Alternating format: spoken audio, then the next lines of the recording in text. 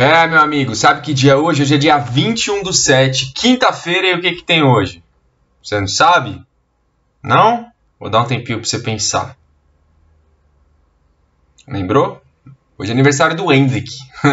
hoje o Hendrick completa 16 anos e vai poder assinar o seu contrato como profissional do Palmeiras, né? A ideia é que o contrato, inclusive, seja assinado hoje, né? Já está tudo acordado aí entre as duas partes. É, e o, o contrato vai ter três anos né, de, de duração, são três temporadas que ele assina com uma multa rescisória de 60 milhões de euros, o que dá na casa dos 330 milhões de reais, beleza? Então, é, o Hendrick assina, já poderia ser utilizado a partir de a partir da assinatura do contrato ele já poderia jogar, né?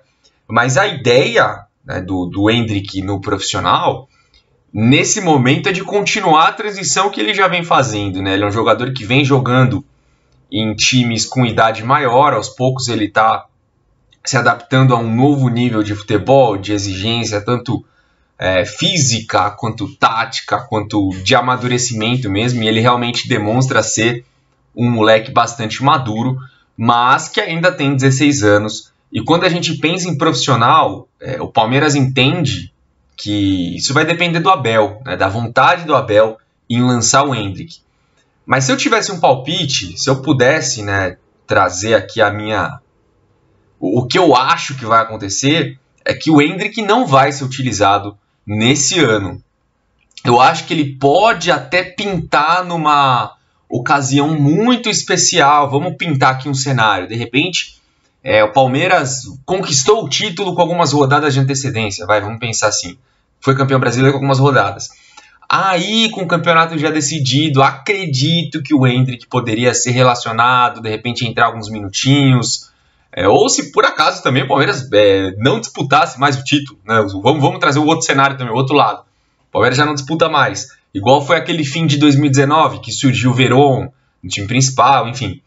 É, eu acho que ele começaria a entrar no time numa situação parecida com essa, ou se machucasse todo mundo lá da frente, o que eu acho que não vai acontecer. Aliás, torço para que não aconteça.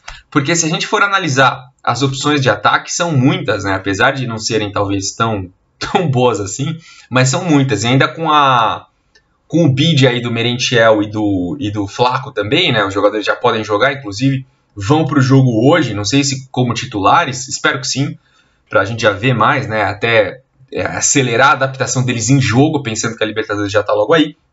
É, tem muita gente ali concorrendo pelas vagas no nosso ataque, então eu acho que o Hendrick é, vai continuar só na transição. Já participou de alguns treinos né, com o elenco profissional, acredito que isso deva ser mais frequente, mas eu acho que ele não vai ser utilizado tanto nessa temporada. Quem sabe na próxima, né? Na próxima talvez abra uma janela, né, principalmente campeonato estadual, é, já, ele já vai ter treinado bastante com o elenco principal, talvez, quem sabe, até já, já tenha feito alguns minutos né, dentro de campo, e aí pode ser que ano que vem ele apareça com mais frequência. É, eu sei que a torcida fica muito ansiosa, eu também, ansioso pra caramba para ver esse moleque no profissional, mas é, não dá para queimar tantas etapas assim com um jogador que é, que é tão jovem. É diferente do Giovani, por exemplo. O Giovani, eu acho que já está no momento de começar a jogar de fato.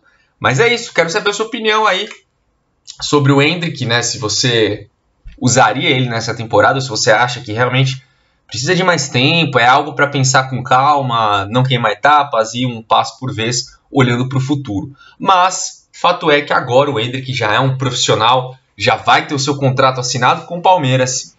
E não sei, né? Até quando ele fica por aqui? já tem muita gente de olho.